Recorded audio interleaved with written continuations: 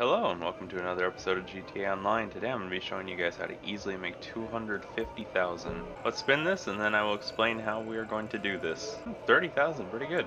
I'm sure you guys heard this by now, but the double money for this week included the Diamond Casino Resort Adversary modes. Something you might not have known about them though is that if you manage to get a win on any of those, they will deposit 250,000 into your account. So if you guys are wondering how to start up these jobs, all you have to do is win one of them, by the way, to get this 250,000. It's very easy, but all you do is you go to your pause menu, you go to online, go to jobs, go to play job, Rockstar created, go all the way down to adversary mode, and then you got to scroll for a little bit, but you'll see them, and they're double money right now. That's how you'll know you're doing the right ones. Right here, all these ones that start with diamond, you can do. You can see how on the right they have like the double RP, double money.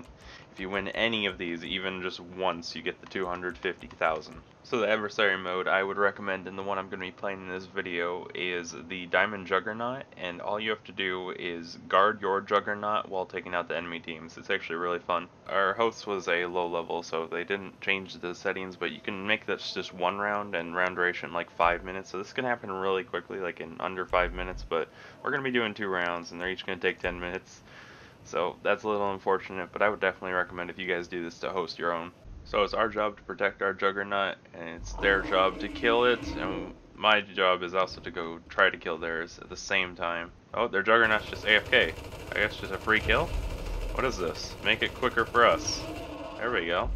Round two, let's go. I'm just gonna push like I did last time and assume that their Juggernaut's still AFK, which is actually kind of nice. I have to reload so many times here. There we go. Get him, get him. Beat him up. Yes. Let's go. That was actually really fast. That was like under two minutes. Look at that. We also get 12k just as like an added bonus for playing. And yeah, since we won that one, I now receive the 250k bonus in the future. So after you get your win, it will take them like normally two days to deposit the money into your bank account, but you guys have until Thursday, September 10th to do this.